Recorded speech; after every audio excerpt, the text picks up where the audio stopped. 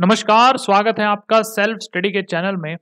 और आज हम अपनी इस वीडियो में डिस्कस करने वाले हैं कि चंडीगढ़, जो कि एक यूनियन टेरिटरी है केंद्र शासित प्रदेश है, उन्होंने कहा है कि देखिए, हमारा जो कोई प्रतिनिधित्व नहीं है राज्यसभा के अंदर तो एक राज्यसभा के अंदर हमें सीट दे दीजिए। तो ये बात बोली गई है चंडीगढ़ के द्वारा। तो यानी चंडीगढ़ के द्वारा राज्यसभा के अंदर एक सीट की मांग की जा रही है। तो एक जो यूनियन टेरिटरी है जहाँ पर कोई विधानसभा नहीं है तो क्या वो एक राज्यसभा के अंदर सीट की मांग कर सकता है? तो एक तो ये बात हम देखेंगे। साथ ही साथ पब्लिक बिल और प्राइवेट बिल में फ़र्क क्या होता है? तो इस बात को भी हम जो है कवर करने वाले हैं इस वीडियो के अंदर। कि मतलब प्राइवेट बिल, क्या आप जैसे मुझ जैसे या कोई प्राइवेट कंपनी आगे प्राइवेट बिल ला सकती है क्या? तो इसको हम देखेंगे। पब्लिक बिल पब्लिक बिल का मतलब गवर्नमेंट बिल भी होता है तो ये चीज़ ध्यान रखना। पीडीएफ जो है वो आप लोगों को प्रोवाइड करवाई जाएगी। डिस्क्रिप्शन बॉक्स में एक लिंक दिया मिलेगा टेलीग्राम का तो जाकर आप वहाँ से डाउनलोड कर सकते हैं। तो बिना किसी देरी के स्टार्ट करते हैं अपनी वीडियो को। देखिए, बोला गया है कि हाल ही में चंडीगढ़ नगर निगम, ध्यान रखना बोला किसने है? चंडीगढ़ नगर निगम ने बात बोली है कि संविधान के आर्टिकल 80 में संशोधन के प्रस्ताव को मंजूरी दी है। किसने मंजूरी दी है? चंडीगढ़ के नगर निगम ने। संशोधन नहीं किया इन्होंने। इन्होंने क्या है कि संशोधन किया जाए। जो एक प्रस्ताव इनके पास आया था, चंडीगढ़ नगर निगम के पास, इन्होंने उस प्रस्ताव को मंजूरी दी है और जिस प्रस्ताव में ये बात बोली गई है कि एक संशोधन किया जाए किसके अंदर? आर्टिकल 80 के अंदर। ये प्रस्ताव लाया कौन? प्रस्ताव लाए मनीष तिवारी जी। मनीष तिवारी जी कौन है भाई? मेंबर ऑफ़ पार्लियामेंट मतलब कि सांसद हैं ये। कहाँ से हैं? तो पंजाब से हैं। तो पंजाब से ये जो है, वो सांसद है। पंजाब में कहाँ से? अनंतपुर साहिब से हैं। और आपको इनका जो है मैंने डिस्क्रिप्शन मतलब कि आपको डिटेल दे दी मैंने। तो मनीष तिवारी जी के द्वारा एक प्रस्ताव लाया गया कि आर्टिकल 80 के अंदर एक संशोधन कर, किया जाए और उस संशोधन के तहत क्या होगा कि जो पार्षद हैं चंडीगढ़ के, वो राज्यसभा में एक प्रतिनिधि भेज सके। यानी पार्षद को पावर दी जाए राज्यसभा का सदस्य चुनने की। ये संशोधन करने की मांग या फिर कहीं ये प्रस्ताव लाया गया है किनके द्वारा? एक मेंबर ऑफ़ पार्लियामेंट है पंजाब के आनंदपुर साहिब से, मनीष तिवारी जी, इनके द्वारा। और इस प्रस्ताव को मंजूरी दे दी गई है नगर निगम ने। तो नगर निगम चंडीगढ़ तो बोलेगा, यार, हमको क्या, हमको तो पावर मिल रही है, आने दो भाई। तो ये तो क्यों मना करेंगे? तो बात करेंगे कि क्या ये जो मांग की जा रही है, क्या इसको पूरा कर दिया जाएगा क्या? तो एक बार जरा आर्टिकल 80 के ऊपर नज़र मार लेते हैं, क्या है? देखिए आर्टिकल 80 जो है उसके अंदर जो राज्यों की परिषद, राज्यों की परिषद बोले तो राज्यसभा ही होती है। तो राज्यसभा की संरचना से संबंधित है। संरचना का मतलब क्या होता है? संरचना का मतलब यह है कि राज्यसभा में सदस्य कितने होंगे? उन सदस्यों का चुनाव कैसे होगा? यहाँ पर प्रेसिडेंट जो है वो कितने सदस्यों को मनोनीत कर सकते हैं? तो ये सारी बातें जो है वो आर्टिकल 80 के अंदर लिखी गई है। क्या चंडीगढ़ के पास कोई सीट है क्या ऑलरेडी राज्यसभा की? नहीं, कोई सीट नहीं है इनके पास। हाँ लोकसभा की ज़रूर सीट है और वो भी एक है। राज्यसभा की नहीं है तो ये चाह रहे हैं कि राज्यसभा के अंदर भी हमें एक सीट दे दी जाए। तो चलिए एक बार जरा इस प्रस्ताव, इस विधेयक के बारे में जान लेते हैं कि क्या बोला गया है। ये जो निजी विधेयक है, ये निजी विधेयक का ध्यान रखना प्राइवेट बिल है। प्राइवेट बिल कौन लेके आए हैं? आपको ध्यान रखना है कि मेंबर ऑफ़ पार्लियामेंट है, पंजाब से जो कांग्रेस से हैं, मनीष तिवारी जी, उनके द्वारा लाया गया है ये। अभी थोड़ी देर में मैं आप लोगों को ये प्राइवेट बिल और पब्लिक बिल में फ़र्क भी बता दूँगा। तो ये जो member of parliament Manish Tiwari ji जो बिल लेके आए हैं, उसको निजी विधेयक या फिर कहीं प्राइवेट विधेयक कहा गया है। और इस बिल में बोला गया है कि आप एक प्रावधान जोड़ दीजिए। इसमें मांग की जा रही है एक प्रावधान जोड़ने की, जिसमें क्या होगा जो राज्यसभा है राज्य की परिषद कह लो या राज्य सभा कह लो कि जो राज्यसभा है उसमें केंद्र शासित प्रदेश चंडीगढ़ का प्रतिनिधि एक निर्वाचक मन, निर्वाचक मंडल द्वारा चुना जाए। क्या बोला गया है? जैसे मैंने अभी आप लोगों को थोड़ी देर पहले बोला एक निर्वाचक मंडल ऐड किया जाए किसमें? आर्टिकल 80 के अंदर। क्या इससे पहले निर्वाचक मंडल होता नहीं है? क्या आर्टिकल 80 के अंदर? हाँ होता है। तो ये नई मांग क्या कर रहे हैं? ये नई मांग ये कर रहे हैं कि ये जो निर्वाचक मंडल आप ऐड कर रहे हो ना आर्टिकल 80 के अंदर, इस निर्वाचक मंडल में शामिल होंगे चंडीगढ़ नगर निगम के निर्वाचित सदस्य, यानी पार्षद शामिल होंगे। और अब तक कौन हो रहा था इस निर्वाचक मंडल में? और अब तक हो रहे थे विधानसभा के सदस्य। विधानसभा के जो सदस्य थे, वो इस निर्वाचक मंडल में शामिल थे अब तक। अगर ये संशोधन हो जाता है, इसको पास कर लिया जाता है तो कौन शामिल हो जाएँगे? पार्षद शामिल हो जाएँगे। पार्षद के पास इतनी पावर चली जाएगी कि भाई वो राज्यसभा का सदस्य चुन सके। तो ये जो है, वो मांग की जा रही है यहाँ पर आर्टिकल 80 के अंदर संशोधन करने की। साथ ही साथ एक और मांग की गई है कि एंट्री नंबर 32 और, एंट्री 32 और चंडीगढ़ एंट्री 32 चंडीगढ़ के साथ संविधान की जो चौथी अनुसूची में भी संशोधन की मांग की गई है। संविधान की जो चौथी अनुसूची है, उसमें क्या है? उसमें सीट का एलोकेशन है मतलब कि सीट निर्धारित की गई है कि जो राज्य हैं, उनके अंदर कितनी सीट दी जानी चाहिए राज्यसभा की, या फिर जो केंद्र शासित प्रदेश हैं, जिनके अंदर राज्यसभा का प्रतिनिधित्व है, उनको कितनी सीट दी जानी चाहिए। तो ये सारी बातें जो है, वो संविधान की चौथी अनुसूची में लिखी गई हैं।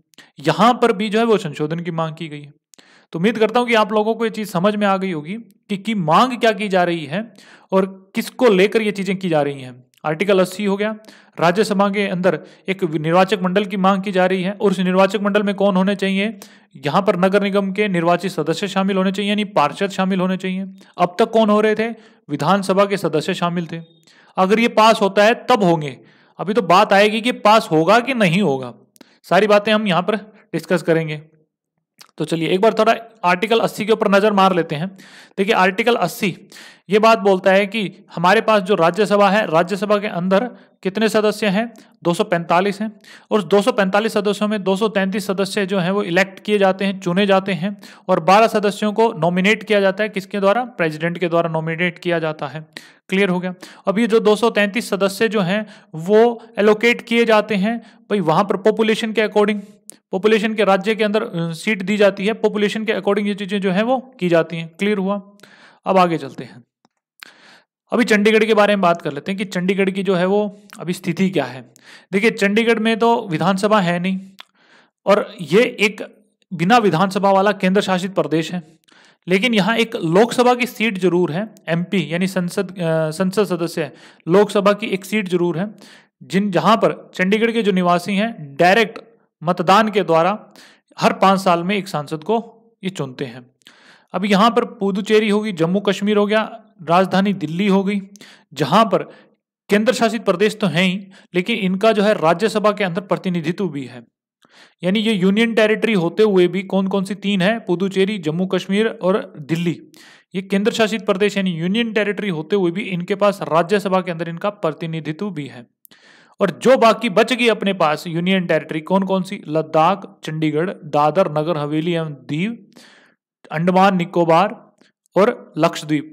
ये जो बाकी बच गई अपने पास यूनियन टेरिटरी इनका राज्यसभा के अंदर कोई प्रतिनिधित्व नहीं है। ओके? अब क्या क्या दिक्कत आएँगी? इन्होंने तो बोल दिया कि भाई हम जो है, एक बिल लेकर आए हैं और यहाँ पर हमें क्या पार्षद को पावर इतनी दी जाए कि वो एक राज्यसभा को चुन, राज्यसभा के सदस्य को चुन सके। तो दिक्कत क्या आने वाली है? कोई प्रॉब्लम है क्या इसमें? हाँ भाई, बहुत बड़ी प्रॉब्लम है। उस प्रॉब्लम को ही देख लेते हैं। कानूनी आपत्तियाँ क्या आ सकती हैं? देखिए, निर्वाचित नगर निगम पार्षद जो पार्षद होते हैं, वो राज्यसभा के लिए एक सदस्य का अगर चुनाव करते हैं तो उनके पास इतनी पावर है ही नहीं। भाई, उनको इतनी पावर दी नहीं गई। संविधान ने ही नहीं दी उनको पावर अगर वो ऐसा करने की मांग कर रही हैं तो वो ये कह रहे हैं कि हमारी शक्तियाँ बढ़ा दी जाए। तो आप आज ये बोल रहे हो कि राज्यसभा के लिए हम सदस्य की चुन सकते हैं तो कल को तो आप और भी जो है, पावर की मांग करने लग जाएँगे, और भी जो बाकी जो है, स्टेट या फिर राज्य जो है, जो फिर कहीं, जहाँ पर नगर निगम है सारी की जगह, वो भी बोलेंगे कि हमको इतनी पावर दी जाए। तो सबको इतनी पावर दी जाएगी तो विधानसभा जहाँ पर एमएलए हैं और आप पार्षद हैं, इनमें फ़र्क क्या रह जाएगा अगर दोनों को पावर एक समान दे दी गई तो? एक तो ये दिक्कत होगी। अब यहाँ पर क्या मैम म्यूनसिपल कॉरपोरेशन के द्वारा चुनी नहीं जाती हैं क्या राज्यसभा के अंदर सीट को मतलब क्या, प्रतिनिधि को चुना नहीं जाता? देखिए, चुना गया था।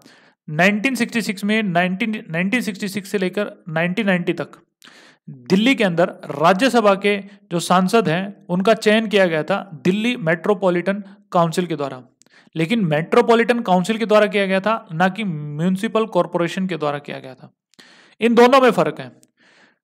चंडीगढ़ के अंदर म्यूनिसिपल कॉरपोरेशन है, ना कि मेट्रोपॉलिटन काउंसिल है। दूसरी बात ये, आप जो विधानमंडल बात कर रहे हैं ना, जो यहाँ पर निर्वाचक मंडल बात कर रहे हो, उस निर्वाचक मंडल में विधानसभाओं के सदस्य होते हैं। तो विधानमंडल के निर्वाचक मंडल होता है, और एक आप बोल रहे हो एमसी का निर्वाचक मंडल। तो इन दोनों में फ़र्क है ना? इन दोनों की पावर में फ़र्क है। संविधान में यहाँ पर इनकी पावर को डिस्ट्रीब्यूट किया गया है। आप उस संविधान के दायरे को बढ़ नहीं, बढ़ा नहीं सकते हो कि मुझे ये भी पावर चाहिए, कल को मुझे ये भी पावर चाहिए, आप ये नहीं कर सकते हो। साथ साथ, चंडीगढ़ में दिल्ली की तरह कोई विधानसभा तो है नहीं। साथ ही साथ, वहाँ दिल्ली के अंदर महानगरीय परिषद, यानी मेट्रोपॉलिटन काउंसिल भी नहीं है। तो ये सब चीज़ें कमी है चंडीगढ़ के अंदर। अगर विधानसभा नहीं भी है तो वहाँ पर अगर मेट्रोपॉलिटन काउंसिल होती, तब भी एक तरीके से सोच सकते थे, लेकिन वहाँ पर म्यूनिसिपल कॉरपोरेशन है। क्लियर अब साथ ही साथ राज्यसभा सांसद का चयन करना नगर निगम के कार्यों के जितनी उनको जो पावर दी गई है, उसके दायरे से बहुत ज़्यादा बाहर है। भाई ये जो नागरिक निकाय यानी सिविक बॉडी के कार्यों को सूचीबद्ध किए गए कार्यों को दायरे से विस्तारित किया जाना, आप कह रहे हो कि हमको पावर दे दीजिए, हमारी दायरे को बढ़ा दीजिए, वो संभव नहीं होगा। क्यों नहीं होगा? क्योंकि ये देखिए, ऐसे किसी भी संवैधानिक आदेश के खिलाफ होगा। ये क्योंकि ये संविधान में जो चीज़ें लिखी गई हैं, आप उनके खिलाफ जा रहे हो। जहाँ पर डिस्ट्रीब्यूट कर दिया गया है पावर को, आप वहाँ पर पावर का एक तरीके से इंटरफेयर करने की कोशिश कर रहे हो कि हम उसके क्षेत्र में भी आ जाएँ। ये क्षेत्र जो है, वो एक तरीके से नगर निगम के लिए नहीं है। तो यहाँ पर ये हो गया। क्लियर हुआ? अब यहाँ पर इन्होंने बोला है कि ठीक है, हम ये बात जो है, वो आगे लेके जाएँगे, यानी कि गृह मंत्रालय के पास भेजेंगे। अगर उनको सही लगेगा तो ये जो बिल है, वो सांसद में पेश किया जाएगा। तो ये बात बोली है। क्लियर? अब थोड़ा बात कर लेते हैं, निजी सदस्य विधेयक क्या होता है? ये होगी हमारे सामने बातें। अब निजी सदस्य विधेयक समझने से पहले, यानी प्राइवेट बिल और आपको कहें कि पब्लिक बिल है, इनको समझना है तो थोड़ी बहुत एक चीज़ आपको जाननी ज़रूरी है। देखिए, लोकसभा एल एस लिख रहा हूँ, आज मैक्सिमम सीट इसके अंदर कितनी हो सकती है लोकसभा के अंदर? तो मैक्सिमम सीट इसके अंदर पाँच हो सकती है। ये मैक्सिमम हो सकती है। आज की डेट में अगर करंट में पूछूँ, करंट में कितनी सीट है? तो 545 है। 545 में से दो जो हैं, वो प्रेसिडेंट के द्वारा चुने जाते हैं, एक तरीके से समझो। बचे कितने? बचे कितने? 543 इस 543 का जब अभी लास्ट में जो चुनाव हुआ, अभी आपको इसके बारे में थोड़ी बहुत डिटेल में दे देता हूँ। इस 543 में से आपको पब्लिक बिल और प्राइवेट बिल में मैं फ़र्क बता रहा हूँ क्या हो रहा है। इस 543 में से जो गवर्नमेंट है, जो गवर्नमेंट बनी हुई है किसकी? बीजेपी की। तो बीजेपी के पास है 301 सीट और एनडीए यानी नेशनल डेमोक्रेटिक अलायंस मिला दें तो ये सीट बन जाती हैं बढ़कर 337 वहीं अपोजिशन के पास कितनी है? 206 क्लियर आप इन दोनों को जोड़ेंगे तो टोटल बन जाता है 543 और दो प्रेसिडेंट जो चुनते हैं टोटल सीट बन गई आपके सामने 545 क्लियर हुआ? अब गवर्नमेंट ये है यहाँ पर, ये गवर्नमेंट में है, यानी ये सत्ता के अंदर है। क्लियर ये अपोजिशन के अंदर है यहाँ पर। ये हो गया आपके सामने लोकसभा। एक बार जरा राज्यसभा जो है, उनके बारे में भी एक बार बात कर लेते हैं। फिर आपको मैं पब्लिक बिल और प्राइवेट बिल समझा देता हूँ। मैक्सिमम सीट कितनी होनी चाहिए राज्यसभा के अंदर? 250 हो सकती है। और आज की डेट में करंट में कितनी है? करंट में मैं अगर बात करूँ तो करंट में जो सीट है राज्यसभा के अंदर 245 है। अब इस 245 में से 233 सीट जो है, या फिर कह सकते हैं कि उनको इलेक्ट किया जाता है, उनको चुना जाता है, बाकी जो है 12 मेंबर जो हैं, उनको प्रेसिडेंट जो है वो मनोनीत करते हैं। अब यहाँ पर 245 में से जो एनडीए है, जो बीजेपी है, उनके पास कितनी है? 120 सीट है। बाकी अपोजिशन है, उसके पास कितनी है? 117 है और 8 सीट खाली पड़ी है। ये करंट का डेटा मैंने आप लोगों को दे दिया। ये अपोजिशन के पास है और ये एनडीए जिसमें बीजेपी आ गई अपने पास, ये एनडीए के पास होगी यहाँ पर। क्लियर हुआ? अब आपको पता है कि गवर्नमेंट बनानी है तो यहाँ पर इनके पास तो बहुमत है ही। तो बहुमत है तो यहाँ पर इन्होंने गवर्नमेंट बना रखी है। क्लियर अब गवर्नमेंट बना लिया। अब गवर्नमेंट बनाने के बाद, यानी प्रधानमंत्री चुन लिया गया। अब काउंसिल ऑफ़ मिनिस्टर चुने जाते हैं। यानी कैबिनेट मिनिस्टर आपको सुना होगा कैबिनेट मिनिस्टर मंत्री बनते हैं। देखिए, मंत्री हर कोई नहीं होता। ये जितने भी है ना, ये चुन के गए हुए हैं। ये सारे के सारे मेंबर ऑफ़ पार्लियामेंट हैं। राज्यसभा के व्यक्ति को जो चुना गया है, उसको मेंबर ऑफ़ पार्लियामेंट यानी सांसद बोला जाएगा और लोकसभा के भी निर्वाचित सदस्य को मेंबर ऑफ़ पार्लियामेंट बोला जाएगा। लेकिन मिनिस्टर मिनिस्टर नहीं बोला जाएगा। मिनिस्टर जो है यानी मंत्री जो है, तब बोला जाएगा जब उनको कैबिनेट के अंदर शामिल किया जाएगा। अब यहाँ पर कैबिनेट बनता है। अरे यार कैबिनेट बनता है। अब जो कैबिनेट बनता है, इसकी संख्या निर्धारित होती है। पंद्रह परसेंट पंद्रह परसेंट जनसंख्या मतलब कि पंद्रह परसेंट से ज़्यादा नहीं होनी चाहिए जितनी लोकसभा की सीटें हैं उससे। यानी 545 इसका 15 परसेंट आप निकाल लीजिए। आप 15 परसेंट निकालेंगे, इससे ज़्यादा संख्या नहीं होनी चाहिए किसके अंदर? कैबिनेट मिनिस्टर के अंदर। तो कैबिनेट मिनिस्टर के अंदर इतनी पंद्रह परसेंट से ज़्यादा जनसंख्या नहीं होनी, या संख्या नहीं होनी चाहिए लोकसभा के। इतना ध्यान रखना है। और इसके अंदर कौन कौन शामिल हो सकता है? इसके अंदर देखिए, इसके अंदर शामिल हो सकते हैं ये जो लोकसभा के जो सदस्य चुने गए हैं, ये भी। और राज्यसभा अगर सरकार चाहे तो राज्यसभा, जैसे अपनी जो जो बीजेपी है, अगर वो चाहे कि मैं राज्यसभा से कोई सदस्य को इस कैबिनेट मिनिस्टर में डालना चाहूँ तो डाल सकते हैं भाई। कोई भी आ सकता है इस कैबिनेट मिनिस्टर के अंदर। अब ये जो राज्यसभा से चुन लिए गए या थोड़े बहुत लोकसभा से चुन लिए गए, पंद्रह परसेंट का दायरा पूरा हो जाता है तो यहाँ पर ये कैबिनेट मिनिस्टर का गठन करते हैं, कैबिनेट मिनिस्टर बन जाता है। तो यहाँ ये जो इनके द्वारा कोई बिल लाया जाता है, इनके द्वारा कोई बिल लाया जाता है, उसी बिल को बोला जाता है पब्लिक बिल। यही होता है पब्लिक बिल। और बाकी जो बच गए, ये जो बाकी जो बच गए पंद्रह परसेंट को छोड़ दीजिए। पंद्रह परसेंट किसके? इस 545 के पंद्रह परसेंट को छोड़ दीजिए। बाकी जितने भी मेंबर ऑफ़ पार्लियामेंट हैं, जितने भी मेंबर ऑफ़ पार्लियामेंट है, उनके द्वारा अगर कोई बिल लाया गया तो वो कहलाता है प्राइवेट बिल। तो ये फ़र्क होता है पब्लिक बिल और प्राइवेट बिल का। उम्मीद करता हूँ कि ये चीज़ आपको समझ में आई होंगी। तो चलिए अब समझेंगे आप यहाँ पर। क्या कहा गया है कि जो निजी सदस्य विधेयक, अरे, निजी सदस्य विधेयक यानी प्राइवेट बिल संसद के ऐसे सदस्य जो केंद्रीय मंत्रिमंडल में मंत्री नहीं है यानी कैबिनेट मिनिस्टर नहीं है कोई मनी, कोई मंत्री नहीं है उनके द्वारा अगर कोई बिल आया जाता है उसे प्राइवेट बिल कहते हैं। यह कौन तैयार करता है? यह तैयार करता है जो ये व्यक्ति लाता है उसकी ज़िम्मेदारी होता है। और इसे सदन में अगर पेश करना है उसे पार्लियामेंट में लाना है तो एक महीने पहले नोटिस देना होगा। साथ ही साथ जो सरकारी बिल कहते हैं या फिर जो सार्वजनिक बिल, यानी पब्लिक बिल होता है, उसको किसी दिन भी पेश किया जा सकता है, किसी भी दिन पेश किया जा सकता है और उस पर चर्चा हो सकती है। लेकिन निजी बिल, जो प्राइवेट बिल होता है, उस पर उस विधेयक को शुक्रवार को ही पेश किया जा सकता है और उस पर चर्चा की जा सकती है हमारे सामने। सार्वजनिक बिल या फिर कहीं पब्लिक बिल को किसी भी दिन पेश किया जा सकता है, लेकिन प्राइवेट बिल को सिर्फ़ और सिर्फ़ शुक्रवार का दिन ही दिया गया है पेश होने के लिए। कई विधेयक, जो काफ़ी सारे विधेयक आ जाते हैं, यानी काफ़ी सारे बिल आ जाते हैं, कैसे उनको लाइन वाइज लाया जाएगा? कभी कभी जो है मत पत्र का यूज़ कर लिया जाता है कि हाँ इसकी ज़्यादा प्रायोरिटी है तो ये नंबर वन पे ले आओ, ये सेकंड नंबर पे ले आओ। तो यहाँ पर सब मत के आधार पर यहाँ पर इस प्रणाली का यूज़ कर लेते हैं। क्लियर हो गया। साथ ही साथ, अगर जो प्राइवेट बिल आया है, अगर जो प्राइवेट बिल आया है, उसमें संसद समिति जो है वो देखती है कि क्या उसके अंदर इंपॉर्टेंट है, क्या उसको लेना चाहिए कि नहीं लेना चाहिए, उसके आधार पर उसका वर्गीकरण किया जाता है। अगर ये जो प्राइवेट बिल आया, उसका संसद में अस्वीकृति यानी कैंसिल कर दिया जाता है। जैसे ये मांग आई है कि आर्टिकल 80 के अंदर संशोधन किया जाए, ये बिल लाया गया है। अगर ये अस्वीकृत कर दिया जाएगा तो सरकार का इसके ऊपर कोई फ़र्क नहीं पड़ेगा। वहाँ पर कोई इस्तीफा नहीं देगा। तो आप सोचोगे क्या जो पब्लिक बिल आता है, अगर वहाँ पर वो लेके आ जाते हैं, उनका अगर फेल हो जाता है तो क्या वो इस्तीफा दे देगी सरकार? हाँ ये वाली इंपॉर्टेंट बात है। तो थोड़ा बहुत शांत रहो, इसके बारे में बात करेंगे। क्लियर अच्छा चर्चा के समापन पर विधेयक का संचालन करने वाला सदस्य या तो संबंधित मंत्री के अनुरोध पर। अभी कोई मंत्री उन्होंने कहा कि देखिए, ऐसा नहीं हो सकता, आप बिल वापस ले लीजिए, या तो बिल वापस ले लें। अगर बिल वापस नहीं लेना चाहते तो आगे विकल्प बढ़ा सकते हैं वो।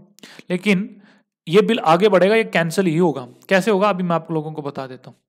देखिए, सरकारी बिल, निजी बिल, यानी पब्लिक बिल और प्राइवेट बिल, इसे संसद के मंत्री द्वारा, मैंने कहा ना कि कैबिनेट मिनिस्टर अगर कोई लेके आता है, पार्लियामेंट के अगर मिनिस्टर के द्वारा अगर ये पेश किया जाता है, पार्लियामेंट के अंदर तो उसे कहेंगे हम पब्लिक बिल। ये किसी मंत्री के अलावा छोड़ दो, बाकी किसी के द्वारा अगर प्रस्तुत कर दिया गया, उसे कहेंगे हम, कि क्या कहेंगे? Private bill. यहाँ पर सरकार की नीतियाँ आती हैं। भाई प्राइवेट जो पब्लिक बिल है, वो सरकार लेके आ रहा है तो वो वहाँ पर ये बता रहे हैं कि हम क्या क्या करना चाहते हैं तो उनकी नीतियों को प्रदर्शित करते हैं।